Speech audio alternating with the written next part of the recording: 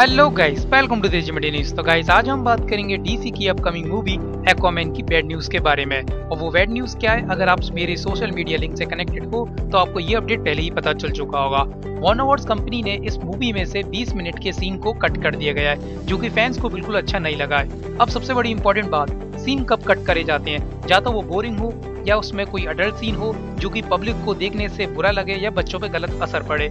अब Superman, hero और इस टाइप की जो मूवियाँ होती हैं, जितनी भी, उनमें ये पॉसिबली मुश्किल ही कोई सीन ऐसा होता है जो कट करा जाए। पर एक्वामैन और वेनम जैसी मूवी में से 30 मिनट के 20 मिनट के सीन काटने में मज़ा नहीं आता।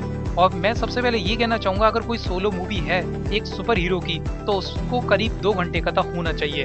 आपको क्या लगता है, मुझे कमेंट सेक्शन में ज़रूर बताना। और एक अपडेट आप लोगों के लिए। आप लोग मुझे कमेंट सेक्शन में या इंस्टाग्राम पे ये पूछते थे कि भाई, आपकी क्या हम वीडियो री अपलोड कर सकते हैं अपने चैनल पे? तो हाँ मेरी तरफ़ से यस है। बस मुझे एक बार कमेंट करके ज़रूर बताना स्क्रीनशॉट ज़रूर भेजना कि आपने मेरी वीडियो यूज़ करी है। और चाहो तो कितनी भी वीडियो आप री अपलोड कर सकते हो, क्योंकि मैं सारी वीडियो सीसी के द्वारा अपलोड करता हूँ, यानी कि कॉपीराइट क्लेट्स के द्वारा।